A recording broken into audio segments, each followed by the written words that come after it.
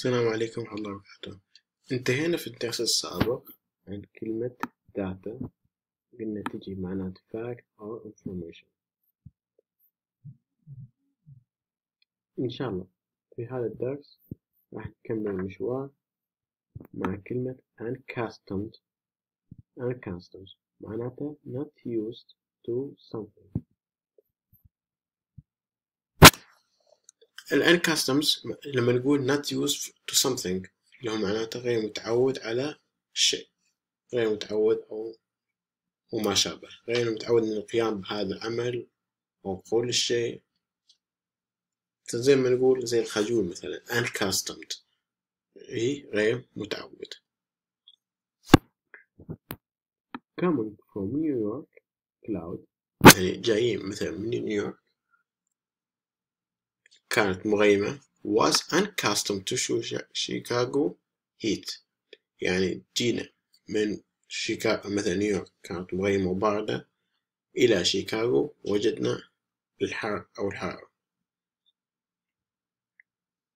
مثل اللي يجي مثلا من أوروبا أو أمريكا شوف الأجواء غير فيقول unaccustomed.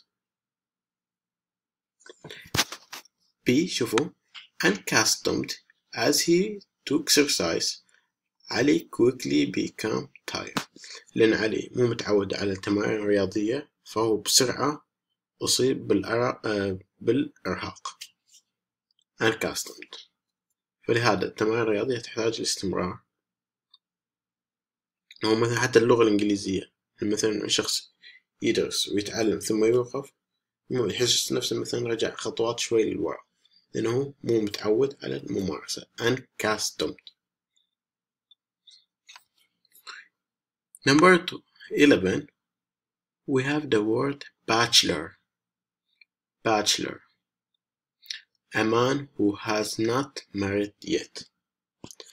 في عندنا كلمة bachelor تجي معنات اللي هي درجة بكالوريوس وفي bachelor اللي هي اللي هو اللي عندنا هنا في المثال رقم 11 اللي هي الشخص الأعزب شوف المثال My brother took an oath to remain bachelor. طبعا درسنا في الفيديو السابق إن oath معناته قسم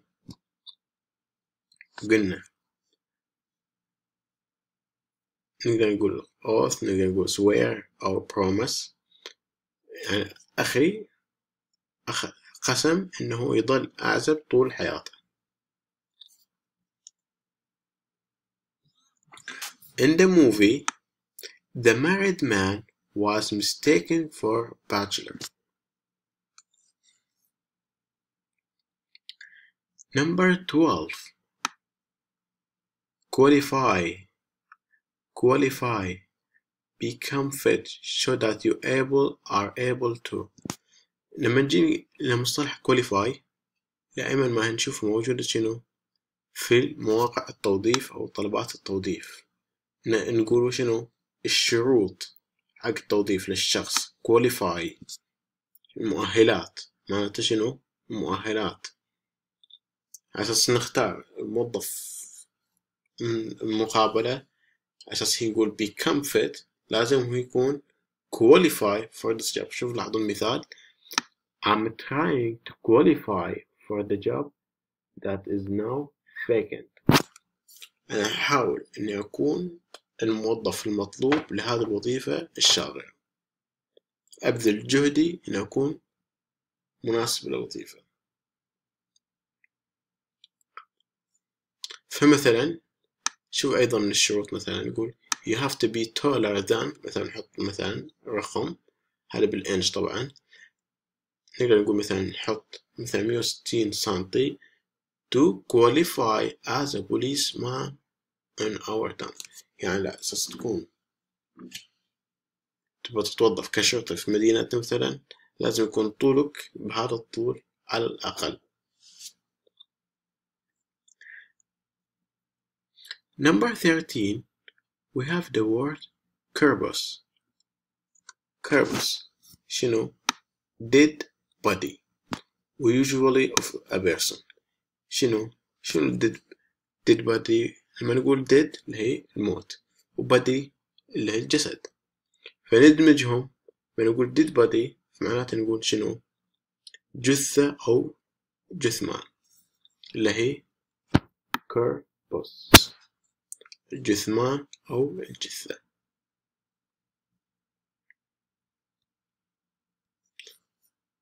Number 14 conceal. conceal. اللي هي hide اللي هي الاختفاء الاختباء أو الاختفاء أو هكذا. conceal.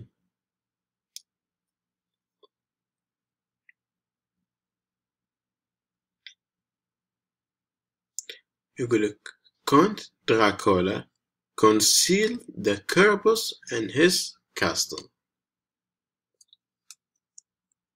هي جثث مثلا في قلعة دراكولا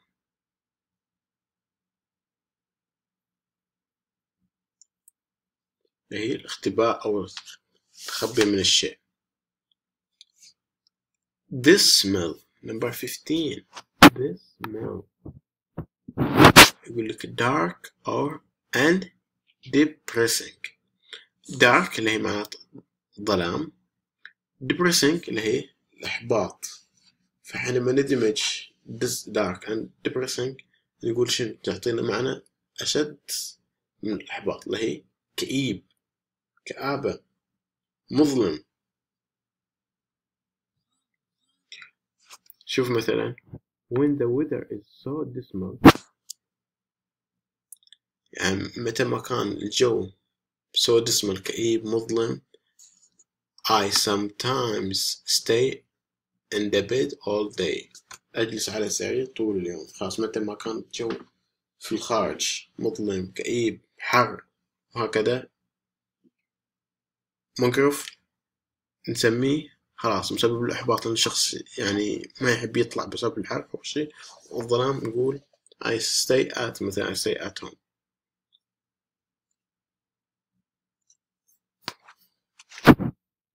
I'm unaccustomed to this dismal client. فزي ما قلنا ذكرنا unaccustomed غير متعود أو متوقع dismal dark أو depressing الإحباط. آخر كلمة climate اللي هي المناخ. Now number 16 شوف لاحظوا أكيد هاد عندكم مشهورة. Very cold. لكن نشوف مثلا اللي بالبولد word 16 frigid frigid اللي هي جدا بارد.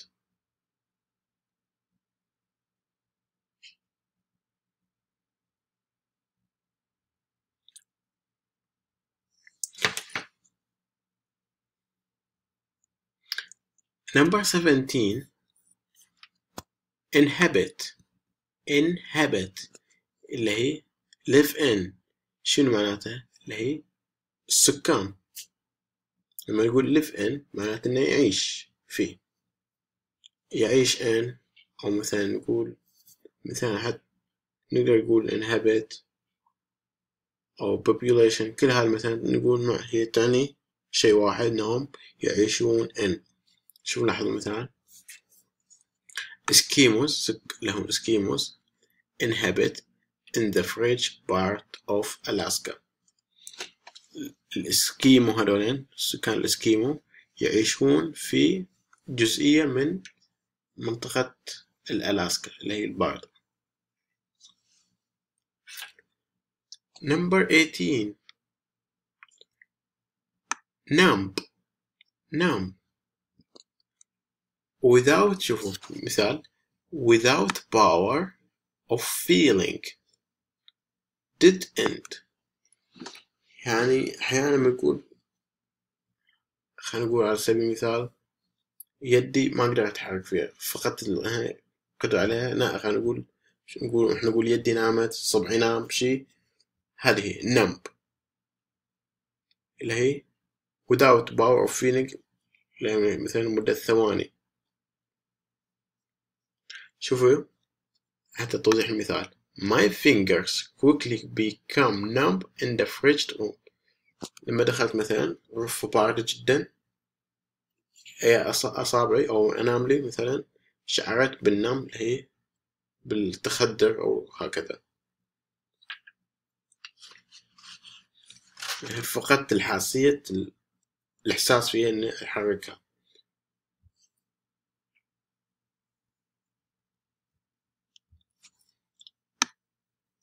Eighteen. بريل بريل والأكثر شهرة شنو؟ Danger. أو dangerous. اللي هو خطر. شوف المثال. إحنا أخذنا في الفيديو السابق mount. وهي تعني مثلا get up on. اللي هي الصعود نضيف عليها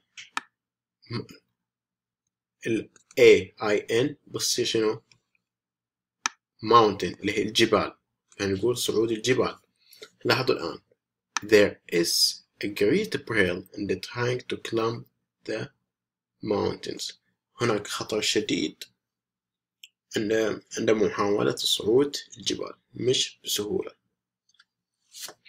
هذا نسميها peril أو مثلا there is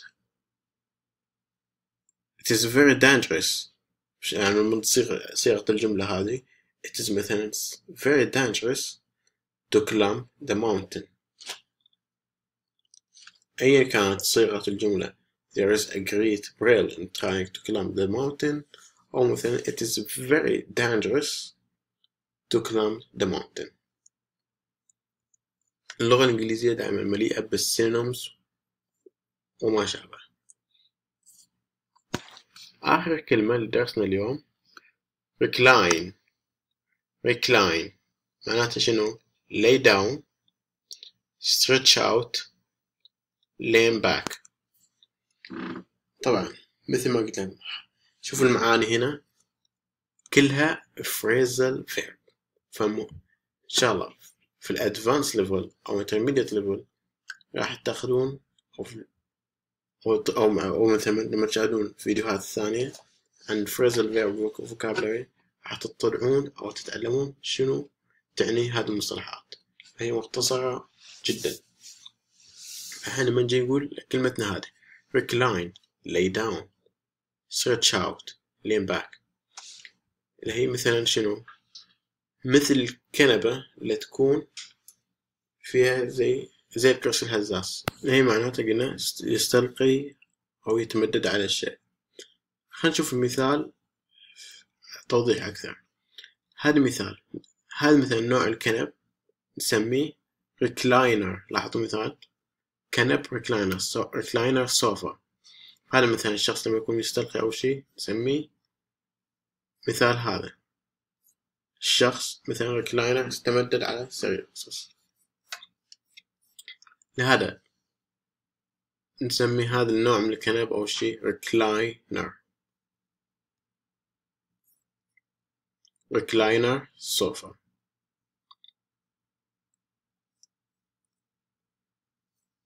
وبهذا ننهي حديثنا اليوم أو هذا الدرس عن كلمة recline أو إن شاء الله الفيديوهات الجاية نستكمل المشوار وموفقين إن شاء الله. شكرا.